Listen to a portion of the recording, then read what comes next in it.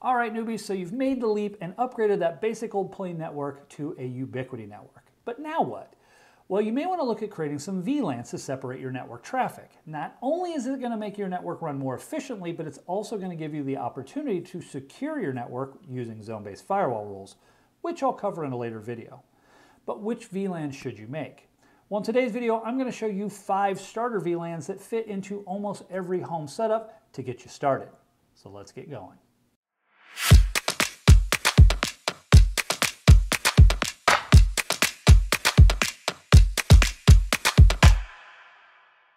Now, one of the nice things about using Ubiquiti is its ability to easily create VLANs in your network for your devices. However, getting started can be challenging.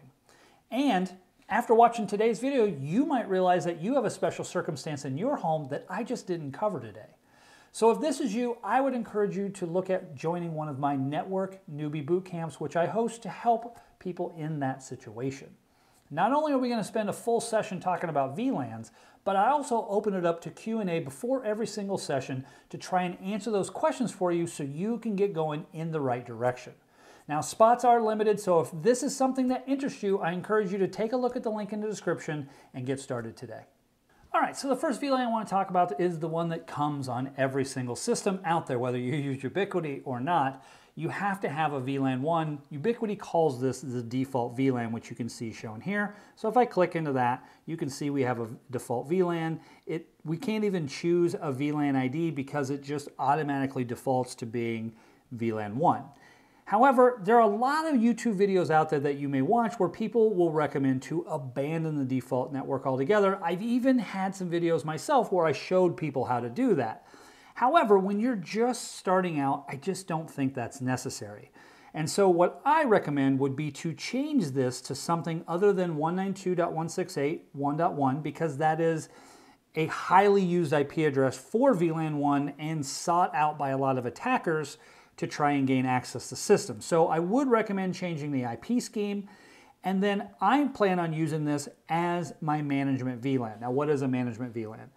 The management VLAN is what all my equipment connects to. So it'll be the IP address of my access points and my switches. I like to put all of them on a network. And so a lot of them, a lot of people will recommend using something like a management VLAN and pick something completely different altogether. However, I just don't really see a need for that. I think it overcomplicates your network. Um, and this is a home network setup. We're not talking about businesses and stuff like that. We're talking about a general home setup. So I just don't believe in overcomplicating things if we don't have to. However, I do like the idea of my network equipment being connected and being separate from all the other VLANs we're going to talk today. So I would recommend changing this to something else. Again, you don't even have to use a 192.168. You can use 172.16 or 10. whatever um, to, for this network. However, just pick something other than 192.168.1.1 and use the default network as your management VLAN for all of your network equipment. So as you can see, I have changed mine to 10.10.1.0, and that is going to be my new default IP subnet. Now, I do like to make a 1 be in the third position here because it is VLAN 1, and I just think that helps you remember which VLAN you're actually on. So 10.10.1 would be VLAN 1, 10.10.5 would be VLAN 5, and so on and so forth. So I do try to make a 1 be in that third octet just to kind of make things a little easier for you. And if we click over into my devices here, you'll see that everything has pulled a new IP address on that default VLAN because that's the only VLAN we have today. Now let's move on to VLAN number two. Now the next VLAN that we're going to be creating is a really important one and I believe that every network out there needs this VLAN. I'm calling it the home slash trusted network, right? And you can call it whatever you like. However, this is the VLAN that we're creating to put the devices that we really want to protect on the network. Devices that access sensitive data or personal information. So we're talking about our laptops, desktops, work computers, um, tablets, cell phones, things like that. If you go online, typically you're going online um, to do something constructive using one of these devices here, okay? So we want to protect these devices from the outside world and outside threats. When you have a plain old everyday router where everything can talk to everything, if something gets compromised clear over here, they could gain access to this sensitive data and which leaves yourself a little bit vulnerable to outside attacks. by isolating it and putting these devices in their own VLAN, we can protect them in a way that helps out with this very, very thing. So if you move to the example, you can see I created a home slash trusted VLAN and I'm calling it VLAN 2. And I gave it a 10.10.2.1 network address. Um, again, that third octet kind of dictating what our VLAN ID is, and so I'm just calling this one VLAN 2. So the next VLAN we're going to create, I'm calling the untrusted IoT VLAN, and we're going to be putting anything that is deemed smart in this VLAN. So it's going to be a catch-all for a lot of the other devices on our network.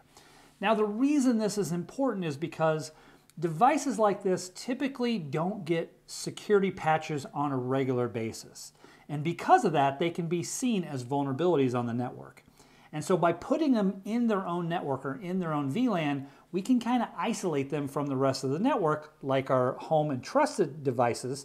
So we make sure that if something did get compromised over here, it doesn't have direct access to our personal information. And so we're going to create this untrusted IoT VLAN and put all those devices there. Now we're going to be talking about things like smart switches, smart plugs, smart appliances. I would even go as far as saying smart cameras like Ring or Eufy, devices like that. I would also include gaming systems, um, sound systems like Sonos, things like that, although Sonos is kind of one of those areas that we probably would need to talk about a little bit more depending on how you use it in your home. But if you just kind of want to be able to run it, this is a good spot to at least start it because again, we just don't know how often these devices are being patched and so we want to protect ourselves from them. So if you move over to the example, you can see I created an untrusted IoT. We called it VLAN 3, and we gave it the network 10.3. or 10.10.3.1. Okay? And again, you can use whatever IP scheme you want to use. I would just avoid the 192.168.1.1 for your default VLAN. Um, and it's nice when you kind of, once you kind of go figure out which direction you want to go, you can kind of just continue to use that IP scheme for the rest of your VLANs. It makes it easy to manage and easy to remember. Now VLAN number four might be kind of optional to a lot of you out there and that is just a guest network. We want to basically give our guests their own VLAN so we can create very specific rules on how guests need to be treated. Now, some of you out there might not get a lot of guests, or if, they, if you do, it's family and you're just gonna let them connect to the regular network, and that's perfectly okay. But the one thing I'll caution you is, is you don't really know how patched, how often grandma updates her laptop if she brings it along with her. Cell phones and tablets, that's one thing. But again, even them, I've picked up my parents' devices, and there's 300 updates that they just haven't touched. And I don't mean to pick on the parents out there, but in all honesty, you, those devices you're basically welcoming into your network. And so by putting them in a guest network, it doesn't mean you don't trust grandma, it just means you don't trust her updating schedule on her devices. And so I think it's important to kind of protect your network from those things because it, like my dad, for example, would love to go out and search the internet for free games and so he, that he could play. However, his computer was riddled with malware all the time because of this. So if he came over to my house, there was no way I was going to let him join my regular network. It's just the way it is. And so we, we would have him join guest. He could play his free games, do his things, but those devices would not have access to anything else in the network. All he wanted to do was get to the internet anyway. It wasn't, he didn't need to print or run my lights or do any other things. And so basically this is a way to allow outside people to still get on your network and protect yourself, okay?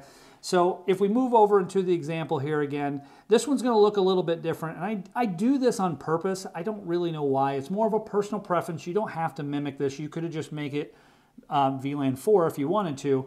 But I called my VLAN network 99 and I gave it a 10.10.99.255 with a VLAN ID of 99, again matching that third octet in our IP scheme there.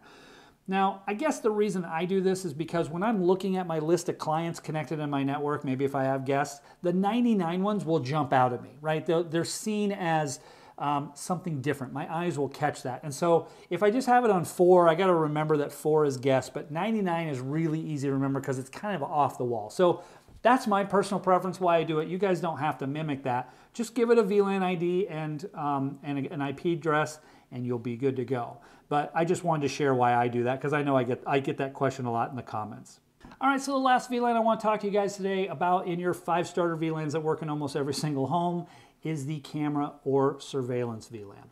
Now what we're actually talking about here is actually physically connected cameras, sometimes wireless too, in the case of UniFi, that record back to a physical NVR in the home.